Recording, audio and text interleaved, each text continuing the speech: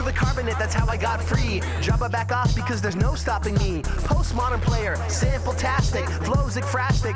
I get drastic. Hey, watch the plastic. Yo, I name check and leave you dra- Welcome to the MacGuffin, episode 211. I'm Spencer. I'm Greg. Today, in honor of the release of Hyde Park on Hudson, we're mm-hmm. talking Bill Murray. Yes. Amazing, we haven't talked to him before. I know. Excellent Bill Murray, actor. The man, the myth, the legend. I mean, he's definitely been more quirky stuff in his latter years, I guess you would say. Yeah. So perhaps maybe it wasn't the big release that brought him to us or something that week. But Okay. you know, it's it's good that we Yeah. have an opportunity to talk about It is. nevertheless. I think he's been uh, also a lot of uh, side roles or smaller roles in films Yeah. recently, so we probably have been focusing on Sure. other people. Let's get started, though. Yes. Mm-hmm. We're going to go way back, perhaps, uh, before most people even are familiar Yes. Mm-hmm. with him, and talk Where the Buffalo Roam. This is the 1980 film, um, semi-autobiographical film about uh, Hunter S. Thompson. Yes, the first in film incarnation Yes. of Hunter S. Thompson. with Bill Murray playing Hunter S. Yes. Thompson. Uh, what you, you were the one who wanted to put this on our list. Yeah, what was it brought that this to your? this was one of those things where like I follow I, I was when I was introduced to Fear and Loathing in Las Vegas, the film, I kind of followed the rabbit hole and read a bunch of his books and then found out that one of the few of his books I hadn't read uh, actually I don't think Where the Buffalo Roam is one of his books. I think it's based on a couple. Uh, but I, I was like, oh, there's this mo- Bill Murray played Hunter S. Thompson. That's gotta be. I gotta check that out. Okay, so it's based on the stories "The Banshee Screams for Buffalo Meat" and "Strange Rumblings in Aztlan." Yes, which I believe the Banshee Screams for Buffalo Meat is the autobiography of um of Laszlo, the person Okay. that Laszlo's mm. based on, which is mm. where the title comes from. So it's Played like by Peter Boyle. Yes, which is another amazing thing because that's a mm. role that that same character later played by Benicio del Toro. Yeah, it's to think crazy. Peter Boyle and Benicio del Toro, like Bill Murray and Johnny Depp, a little bit easier to say they could play the same character. Young, when you're looking at young young Bill Murray versus Johnny Depp, maybe. you could see at least a physical similarity. I, would think. yeah, maybe a little. I would think they're both. It's a big They're both for both similar-sized, brown-haired white men, as I opposed guess. to gigantic old Peter Boyle and you know Hispanic Benicio del Toro. I just It's an interesting, yeah, combination. But yeah. I mean, it, it's so weird to think of. I mean, a Bill Murray really. I mean, very, very rarely. I mean, this might have been the only time he's played a Mm-hmm. real person before. But it's so weird to think of him playing Hunter S. Thompson. Yeah. like I don't even think of those two in the same stratosphere. I know. Like, Johnny Depp, you can sort of see because he's quirky like that. Mm-hmm. Yeah. But Bill Murray, like, I would never even think about this. Yeah, and, oh, had I actually found it here. Uh, the character Carl Laszlo is based on the 90, 1960s Chicano lawyer Oscar Zeta Acosta, who was briefly hi uh, Hunter S. Thompson's lawyer during the 70s. The base of the character for Dr. Gonzo in Fear in Las Vegas. The title of this movie is an allusion to Acosta's book, Autobiography of a Brown Buffalo. So that story is probably an original one allusion there, to yeah. this. So, either way. But you know, it's it's it's it's funny to think about too because you know this is like prime time comedy Bill Murray Mm-hmm. time, and this is not necessarily that. So I mean, and it definitely carried over too. It's one of those things that you can tell. Again, same way Johnny Depp hung out with Hunter S. Thompson, Bill Murray spent a lot of time with Hunter S. Thompson, drinking and shooting and basically screwing around on Hunter S. Thompson's Colorado ranch. And after filming ended, Murray continued to act Gonzo throughout the beginning of the next season of Saturday Night Live. Much to the chagrin and annoyance of cast and crew members. Like, that's how much he grabbed onto that role. that's excellent. I mean, it seems like you know if you go down that rabbit hole and you're able to do that, Yeah. that'd be pretty awesome. And it also says something about Bill Murray that is going to be a trend we're going to see, which is that when he cares about a role, he latches onto it hard, and it usually carries over into other parts of his life. I thought it was interesting also that the director Art Linson Mm-hmm. um, only directed one other movie called The Wild Life, starring Eric Stoltz. Huh. Teen romp. Interestingly enough, Weird. But curiously enough, he became quite the prolific producer. He did, let's see, Untouchables. Wow. He did Scrooged. He did Dick Tracy. He did Fight Club. He Whoa. did Into the Wild. This guy's been everywhere. Clearly, directing might not have been his forte, but producing, man, dude has some chops. Yeah, probably So- got involved and was like, I don't want to be in that much control. I don't. It's crazy. Yeah, you Yeah. probably saw how the was it the sausage was made and yes. get out yes, of there but you, if you're a Hunter S. Thompson fan, you should check out Where the Buffaloes Roam. If for nothing else, to see a much more on point and less comedic, much more serious, dark Mm. portrayal of Hunter S. Thompson. Yeah. Obviously, going a very different direction. Mm-hmm. The same year, Caddyshack. Yeah. We're talking the was it the Harold Ramis? Yes. Classic about a golf. I gue- what do you describe a golf Caddy. course? Yeah, a- a- a golf course. It's a cast of characters who Yes. Mm-hmm. interact on this golf course. I mean, one Based on one of Bill Murray's brothers, uh, Brian Doyle yes, Murray. Brian Doyle Murray. He, he, Harold Ramis, and Bill Murray were all caddies in their youth. Really? And so mostly it's Brian Doyle Murray's experiences as a caddy kind of collected into a story. That's funny. So he's like Michael O'Keefe then, Danny Noonan in the movie. He's Probably. caddy. That's Probably. interesting. I mean, because it's so it's. I mean, you think about the film, and yeah, Bill Or just Murray's any in it. caddy that's been experiencing all those things going on. Yeah, you, I mean, you think about it though. You think, yeah, Bill Murray's in the film, and yeah, he's very funny as the groundskeeper. Mm-hmm. Yes. Like the whole battle with the the gopher, very funny. Yes. but he's really kind of a small part of the movie. Yes. It's much more about you know the battle between Chevy Chase with Rodney Dangerfield and Mm-hmm. Yes. Ted Knight.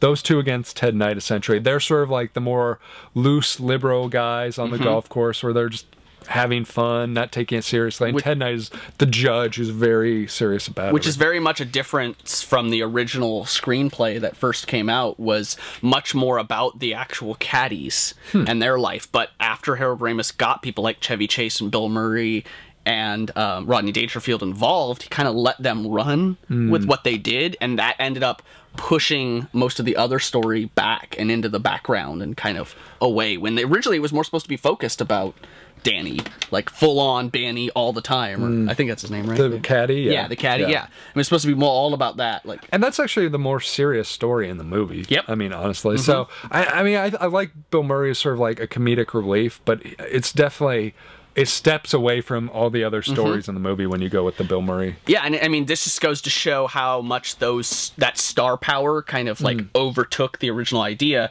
Uh, the famous scene that begins when Ty crashes his ball into Carl's hovel, where Bill Murray and, Yeah. and Chevy Chase then hang out, uh, was not in the original script. Huh. It was added by Harold Ramis after realizing that he had Chevy Chase and Bill Murray on this movie and that they didn't have any scenes together. So he took uh, that they didn't have a scene together. The three of them met for lunch and wrote the scene together, all three of them, which is the most interesting thing because Bill Murray and Chevy Chase at the time kind of had a feud from Saturday Night Live still going on. Uh, even though it has nothing to do with the plot, it's often considered one of the funniest scenes in the movie, uh, and it's the only time, the only time Chase and Murray have appeared in a movie together. That's interesting. Yeah.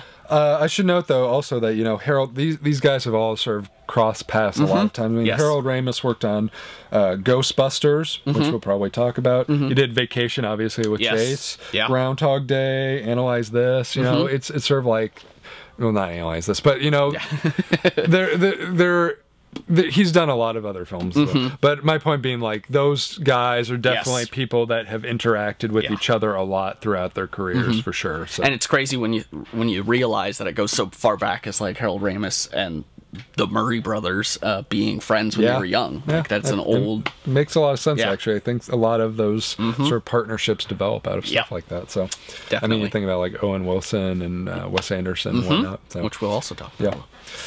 Speaking of uh, Ghostbusters, Mm-hmm. let's move right along to that. 1984, the Ivan Reitman classic, Mm-hmm. uh, written by Harold Ramis and Dan Aykroyd. Yep. This is, you know, story of a group of, I guess you'd call them misfits. Yeah. Who find themselves as ghost busters. Uh, originally, Dan Aykroyd's original idea for the film involved them being Ghostbusters in the future, where they were like, where Ghostbusters were like police and firefighters. They were just a regular part of everyday life. And Harold Ramis said that would cost $300 million in 1984 dollars to do. So let's make it present day instead and pull back. I don't know if it would cost three hundred million dollars, but That was his quote at the time. but that being So- said, like I don't know, like I I think this idea works better in my opinion. I, li- I like sort of like this like this sort of misfit angle of Yeah. it where these are guys who kind of more an origin story. yeah, and they but they like they have this belief in what they're doing, Mm-hmm. even though it's sort of crazy and most people don't believe it. But only when stuff starts going wrong, people start coming to them, and it sort of changes it. And it's sort of like these guys who aren't necessarily heroes have to become heroes to save the day, you know, against Stay Puft Marshmallow Man and Mm-hmm. Stuff like that. So it's it's really interesting. It's also funny to think because you know you think of Ghostbusters. From the cartoon, Uh-huh. that's sort of a light comedic kind of thing, and the movie's much darker. Oh, definitely. especially the, first- second one. The very first scene in the first Ghostbusters with the library and uh, finding the ghost and all Mm. the cards spitting out. That that gave me nightmares for years as a kid. Like more than the rest of the movie. The rest of the movie didn't scare me as much as that and the, the creepy dogs that chase, chase Rick Moranis. Those were the two things as a kid. Well, yeah. I mean, that, oh, for And, sure. Of course, when some, someone asks you if you're a god, you say yes. Right.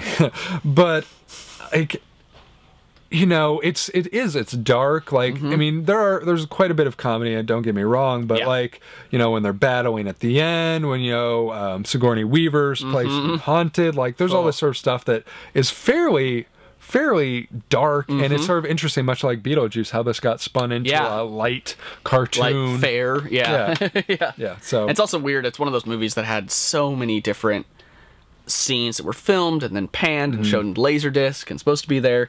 Uh, most uh, going with kind of Bill Murray, what early Bill Murray was like. It is not surprising that almost every, almost none of the scenes were filmed and scripted. Really Like just as that, Mo- almost all of them had at least one or two ad libs. Was Well, all kind of I, I, th- thank you for reminding me. I was going to say that you know this feels like Bill Murray becoming who I sort of see Mm-hmm. Bill Murray as a sort of like a quick wish witted dick-ish type Yes. character, and that's Yes. Mm-hmm. sort of like exactly who he is in this movie. which will come back uh, A lot. Which will come back a lot, not only in his roles, but in some important things I think about his roles. Uh, you know, I like to talk about temporal things, uh, things in the moment, and that that happened while the movie was out, and how strange they are. Ghostbusters is one of those people don't do this anymore because of Ghostbusters kind of thing. Uh, in the middle of the film's initial release, to keep interest going, Ivan Reitman had a trailer, which was just a commercial for the film for the movie, but like a commercial for the Ghostbusters themselves that's as cool. this initial trailer. And in it, he took and had a number in it, but with instead of a 555 fake Oh, number, no, a he had a real 1 number. 800 number, which allowed people to call. And if they called, they got Dan Aykroyd and Bill Murray saying, Hi, we're out catching ghosts right now. that's that's cool. They got a thousand calls an hour, 25, 24 hours a day for six weeks. Wow, that's awesome. That's, That's awesome. why you don't do that anymore. But- That's why everyone uses 555. You also think about like you know this one is a very popular movie. I mean, Mm-hmm. made almost 300 million worldwide, but it's also it was also fairly critically acclaimed. I Really? mean, it was nominated for best motion picture, comedy, or musical at the Golden Globes. Okay. Hmm. lost to *Romancing the Stone*, which I mean, I personally would take *Ghostbusters* over that, but you know that's a good film That'd be well. an interesting argument to Yeah. have It's a- someday. it's a good film as well. Sit down and watch both. But you might be able to argue this one a little bit more. Um, Bill Murray was nominated for Best Actor in a Really? comedy, lost to Dudley Moore for *Mickey and Maude*. Hmm, yeah. I uh, Sorry, Dudley Moore. yeah, I mean, I mean, if you're gonna nominate Bill Murray for Peter Venkman, wasn't he? Venkman? Yeah, Peter Venkman. I mean, that's that's that's right up there with the Caddyshack as far as like classic Murray roles that people. But at the same time, you know, you think about this. This is like Yeah, not during very the time, early in his true. career, so like you look back and you're like, duh. But like, Yeah. it's funny to think about. Yeah. You know, got nominated Gotta for that love role. those So, moments. let's uh let's move forward though. Mm-hmm. Uh, almost a decade actually. Another, I would say, you know, beloved film. If you ask me. But it seems like, it, in some ways, it's sort of like forgotten? Yeah, vastly forgotten and vastly underappreciated. Oh yeah, totally underappreciated. And we're talking about what about Bob? as far as I'm concerned, What About Bob might as well be one of the like quintessential Murray roles, which is why I'm glad we're talking about it. So it amazes Which- me that which is the story, you know, of a, a, Mm, yes. a psychiatric patient played by Bill Murray, Yes. who is relentlessly Yes. stalking and harassing his therapist, played by Richard. you could almost say he's a hypochondriac for a therapist yeah, in oh, the totally. sense of like he's all got so many crazy problems going on upstairs that he is like attached to the hip to Richard Dreyfuss. Or Yes. wants to be Yes. at least, and wants Richard Dreyfuss to cure every problem and melody. Well, it's not it's not just that he wants him to, but he thinks that he is. True, He feels yes. Mm-hmm. like he is the one who's curing it, and it's Yeah. sort of whether he actually did anything or not, which is really not. Yeah. But he thinks he is, so he starts just like stalking him, Yeah. much to Richard Yes. Chagrin, especially since everybody else seems to like him. Everyone loves Bob, Especially his family. for, except for Richard Yes. Dreyfuss. and it ends up driving him nuts. And it's so funny. Like Mm-hmm. so good. It's so good. Like, and you think about like the cast in addition to it, you know, his family's like Julie Hagerty, Mm-hmm. obviously from Airplane, and Charlie Korsmo, who went on to uh, be awesome and Can't Hardly Wait as oh well. yes, yeah, mhm. So it's, I mean, it's got a great fun cast directed by uh, Frank Oz. yeah, Yeah. I know. How cool is that? Look at his career though. Uh, he did Little Shop of Horrors. Yeah. He did Dirty Rotten Scoundrels. Oh, He did Indian in the Cupboard. really? Like Yeah. the semi-recent-ish one? Wow. well, 1997 Well, or something. recent-ish. Yeah, he did In and Out with Kevin Okay, Kline. uh-huh. He did Bowfinger. Wow. And you think about it, he did the score. The one with Edward Norton, Robert De Niro, and Marlon Brando. That was Whoa. him. He did uh, Frank the, the original Death at a Funeral, which was Uh-huh, then yeah. remade by Neil Yeah. LaBute. And obviously, he did all the shit in the Muppets too. On top Yeah, of all that, Yoda. yeah, yeah, and Yoda. Just Yoda. You know, NBD. Just yeah, Yoda. Yeah, exactly. Frank Oz is pretty freaking awesome, Yeah. if you ask me. So I think it, it you know it's it's it's an interesting point simply because it, it it just seems that it seems like Bill Murray it was much like Chevy Chase I would say still is uh kind of volatile oh yeah, especially in his early career Yeah, with totally. people he worked Sure, with and this is a classic example of that because according to Richard Dreyfuss he and Bill Murray did not get along at all Really? during the filming of this movie which I think probably helped the film because if you imagine Bill Murray's probably used to people not liking him, so it probably made it more fun for him to annoy Richard Dreyfuss, and Richard Dreyfuss was probably more annoyed looking. Mm. well, yeah, it's perfect for their relationship. Mm-hmm. Yeah. yeah. That's funny. Uh, to sort of give you again perspective of how sort of underappreciated or, or for, overlooked, Hmm. it's it only was really nominated for like MTV awards Really? for Bill Murray for best comedic performance, which he lost to Billy Crystal for City Slickers. Oh, but that's I about it. Don't get me wrong. Like the first City Slickers is okay, but like if there was ever a backlash, it was like the Hangover experience. City Slickers Two was made. Everyone realized it was the same movie, and people like me.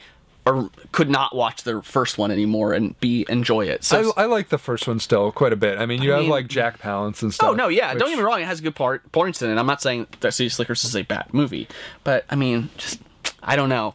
I don't know if that's a Billy Crystal comedic performance that I would say is worthy of this. I, th- I think it would be a good debate. I think Yeah, it would. I, th- I mean, I, I. I think I think you could debate that one That's very well. Billy Crystal's a pretty funny dude, and that Yeah, is sort of prime actually a good time point. Billy That's- Crystal. yeah, so yeah, maybe I, th- around I, table I, I think that'd be yeah, that'd be a good debate.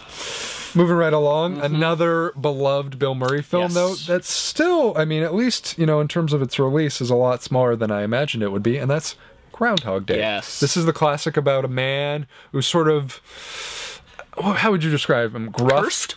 gruff towards the world. Oh yes, yes. Like, he- yes. he Let's hates say everyone kind of, around uh, him, What's the what's the term for that? Um, for people who uh, hate all people, I can't remember it right now. Not misogynistic, 'cause that's Women. male hating, yeah, women. but there's um, it'll it'll come to me. I'll spurt it out randomly. For, Anyway, he's he just likes you know the people around him. He just likes his job. He sort of takes that out on everyone, and then he's struck Mm-hmm. a very with this. Bill Murray esque performance. pr- exactly. You know, as we said with like you know, um, Ghostbusters, very sort of similar Mm-hmm. Yes. persona, but you know.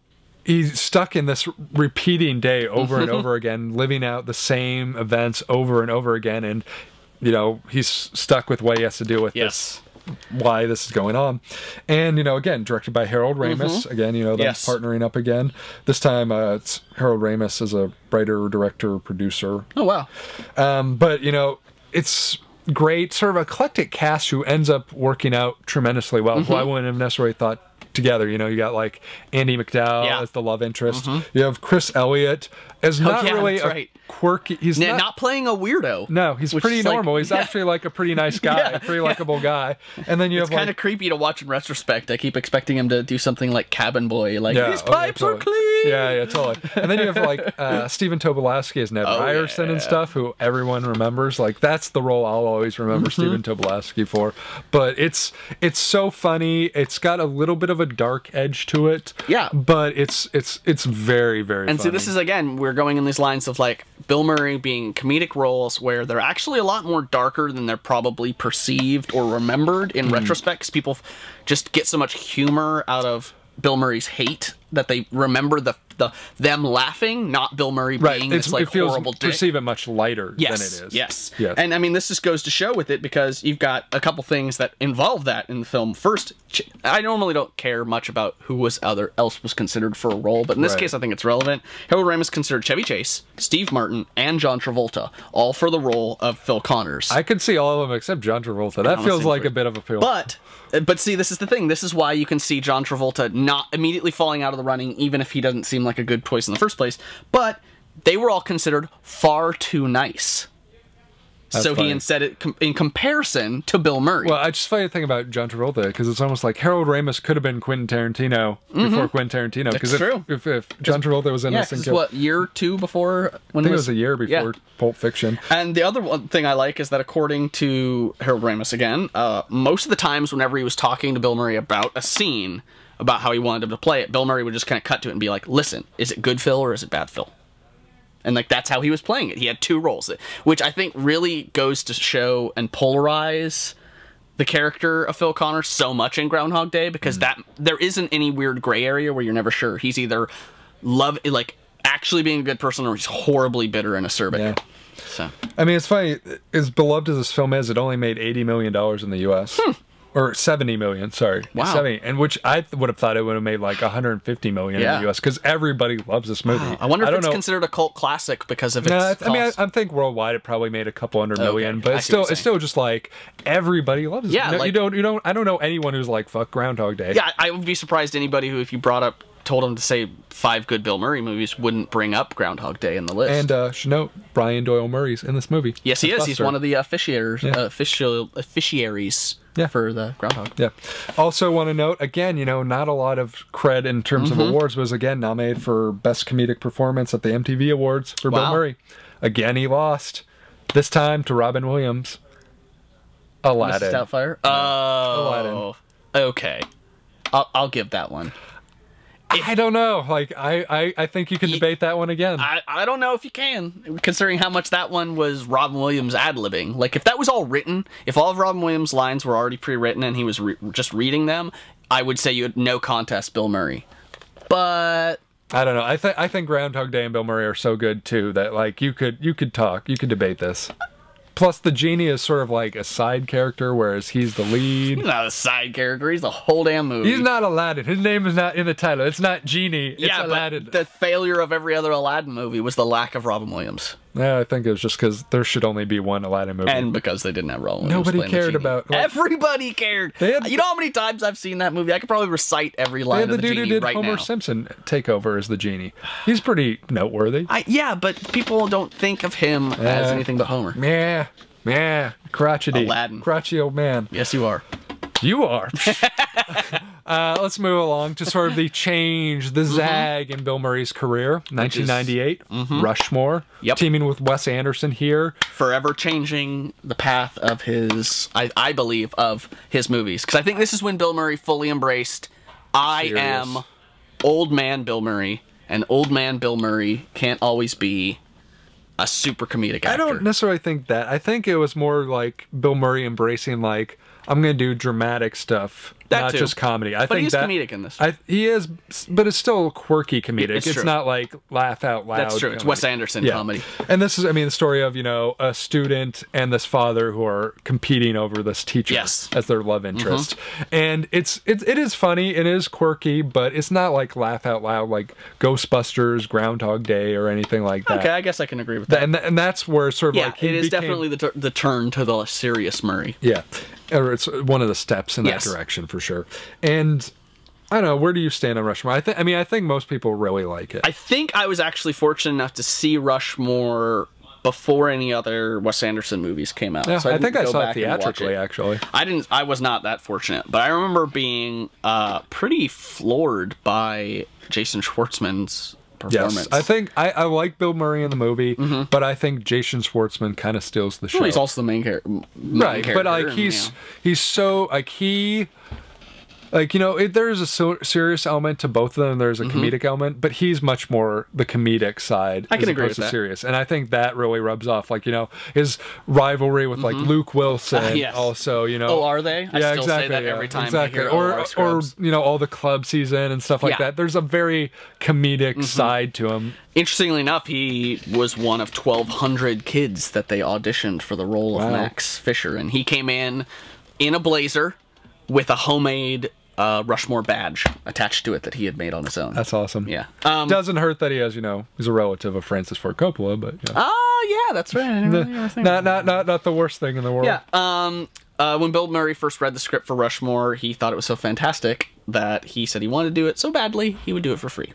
Wow. Which is funny because the film had a $20 million budget, which not a heck of a lot, but when you see the next film we're talking about, it'll make a lot more sense. Yes, and it also makes sense with this, which is on the first day. Well, and also, you know, you think Bill Murray's done all this amazing comedic stuff. Even though it wasn't fully obvious at the time, he's transitioning into these more serious roles. So I think it's so interesting that the following thing happened, which is on the first day of principal photography with Wes Anderson. Uh, when he was talking to Bill Murray and delivering directions, he was whispering. He was hmm. a hush whisper, as it was described as, because he was so awed to be working with Bill Murray. And graciously, Bill Murray deferred publicly to Anderson, helped haul equipment, and when Disney denied a helicopter scene that would have cost 75 grand, gave Anderson a blank I mean, check I think to cover it, the cost. I think it makes sense that he's, I believe, essentially been in everything Yes. Anderson's done. So you know I'm- they I'm- clearly except for Bottle Rocket, which was pre right. this. they so they they definitely have a strong relationship. I think it's interesting in terms of you know. Um, respect that was occurred you know that he was nominated for a golden globe Mm-hmm, Awesome. Mm-hmm. for supporting role he lost to ed harris for truman show which i think is an interesting one that Yeah. was a good good performance by really good Harris. movie. Uh, but it did win the Indie Spirit Award for Best Director, and he won Best Supporting Male at Awesome. the Indie Spirit Award. I So. also think it's funny that the people who were playing his kids in the movie, he actually hated. So, Hmm. Oh, really? That's- So most of him berating them is ad libbed of him actually just going off That's on the actors. Just like also, just want to say the love interest in the movie, Olivia Williams, Yes. Might be coming back uh, later in our discussion. I'm just saying. Mm, just saying. Just saying.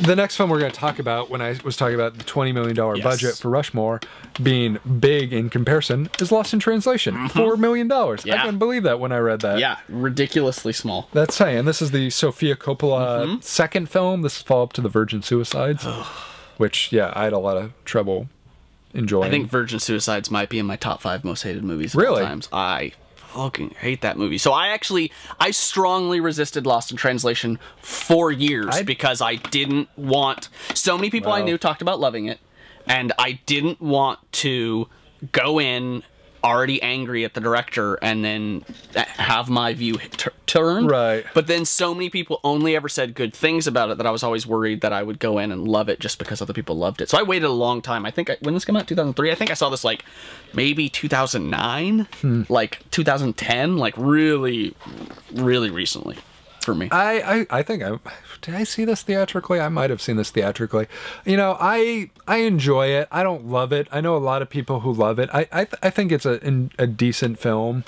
I I, I think it's really interesting because it's really dependent entirely on the relationship between Scarlett Johansson Yes. and Bill Murray, which is very engaging. Yes, they're and they're very good together. Sofia Coppola wrote the lead role for, specifically for Bill Murray and said if he didn't want to do it, uh, she wouldn't have done the movie. which and it was inspired by her relationship with um, what's his name um, I can't remember his name right now.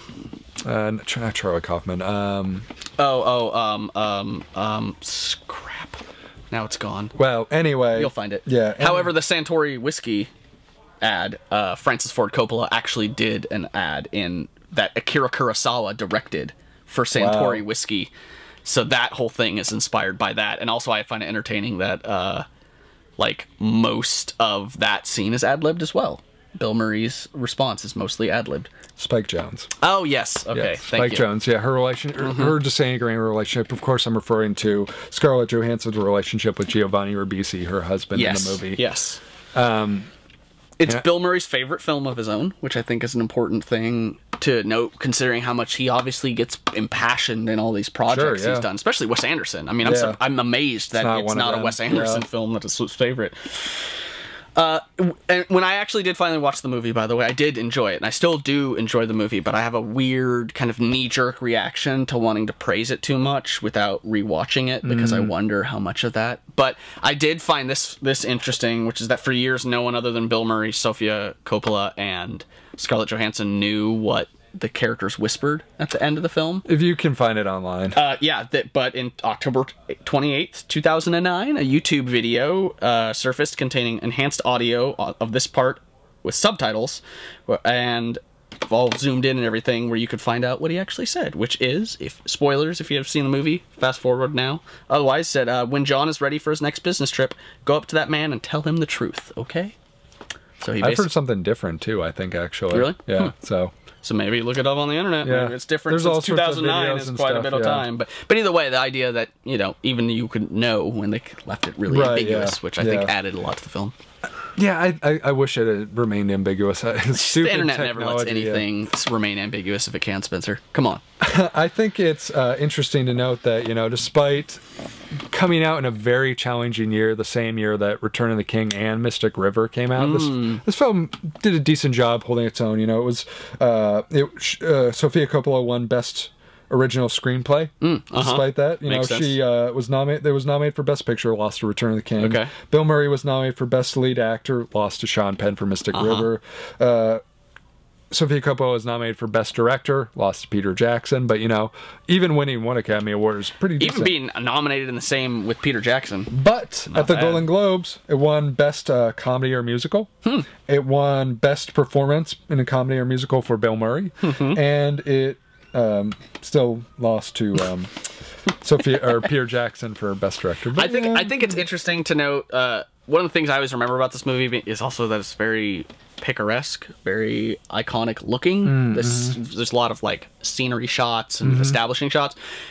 That's relatively understandable because Sofia Coppola went to Tokyo, I think, where it takes place. Yeah, I. Tokyo. and took a bunch of photographs and then took those photographs and tried to recreate mm. the scene for the purpose of things hmm. when they actually made the film. that's cool. Yeah. Gotta give her credit for that. After making such a horrible movie, to turn around and make that. I, I don't hate Virgin Suicides as much as you, but it's a tough one to watch. I'll say that. Um, but that brings us to this Friday, December 7th. We're talking Hyde Park on Hudson, which is the story of the love affair between FDR Yes. and his distant cousin, Margaret Stuckley, centered around the weekend in 1939 when King and Queen, the King and Queen of the UK visited upstate New York. yes. So you've got. Which I think is interesting because it's the second movie this year that involves a famous actor playing a very famous president in a very specific am- amount of time. Like it's like Lincoln was, you know, like 30 days, and this is like a weekend. I think it's interesting. We have two iconic.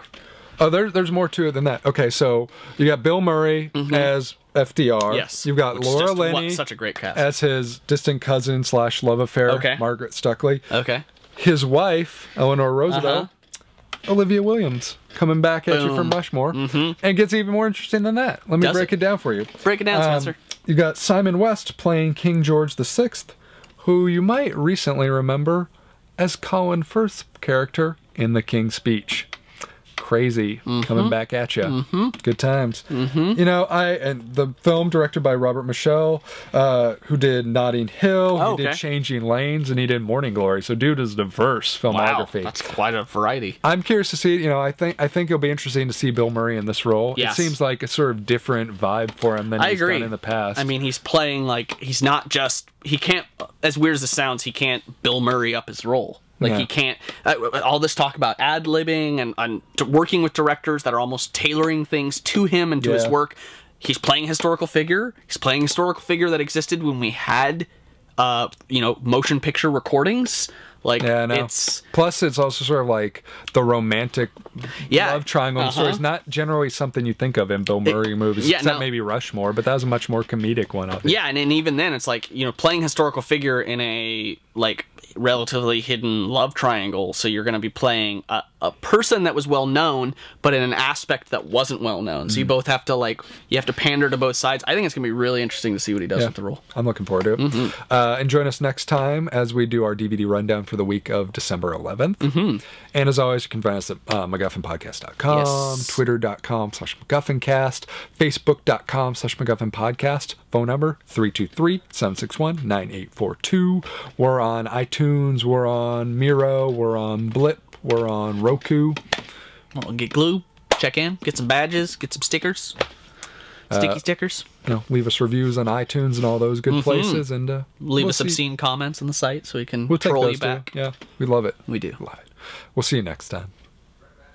T-1000 can't stop me. I'm on fire tonight. Magneto can't stop me. I'm on fire tonight. Even Zod can't stop me. I'm on fire tonight. It's tight. Don't even try to bite the side style. Mr. Spock can't stop me. I'm on fire tonight. The Wrath of Khan can't stop me. I'm on fire tonight. The Borg can't stop me. I'm on fire tonight. Because I've got space game and it feels alright.